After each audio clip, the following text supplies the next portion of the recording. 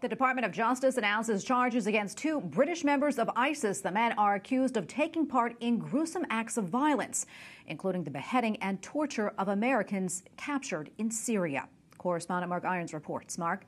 Tracy El Shafee Elsheikh and Alexanda Kotey were scheduled to appear in a federal court in Virginia today. The charges against them highlight their involvement in the barbaric treatment of aid workers and journalists. And today, FBI Director Christopher Wray said his agency is committed to combating terrorism and it remains a top priority. Today, we're demonstrating that resolve by bringing to our shores two men who left Britain to become ISIS terrorists. Now they're going to face justice in an American court of law for crimes against American citizens.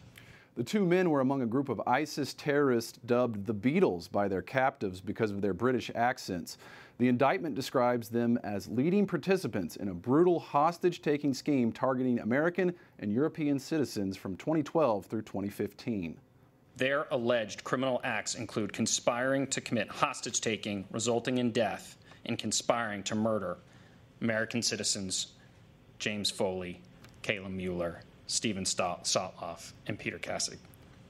Relatives of those slain hostages praised the DOJ for transferring the men to the U.S. for trial, saying, Now our families can pursue accountability for these crimes against our children in a U.S. court. The two alleged terrorists have been in U.S. military custody since 2019. A year before that, they were captured in Syria by the U.S. backed Syrian Democratic Forces. And Tracy, the DOJ has long wanted to put these two men on trial. Correspondent Mark Irons reporting for us tonight. Thank you so much, Mark.